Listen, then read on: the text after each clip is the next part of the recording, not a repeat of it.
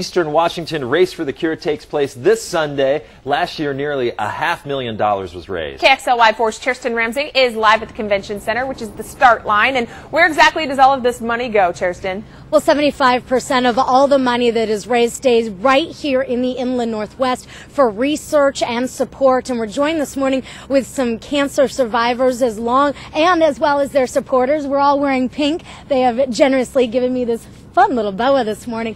As supporters of women that are battling cancer, why is it so important for folks to come and participate this weekend?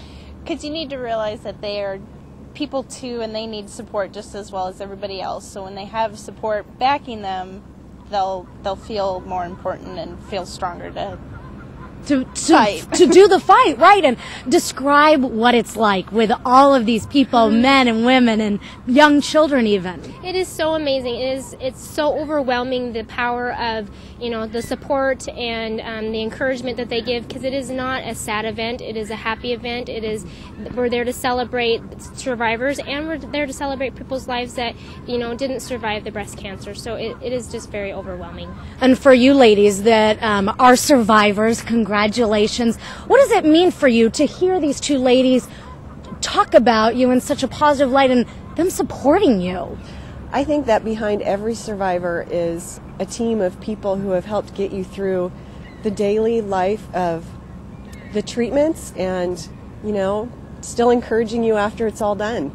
And this is your one year anniversary, so congratulations and to you as well.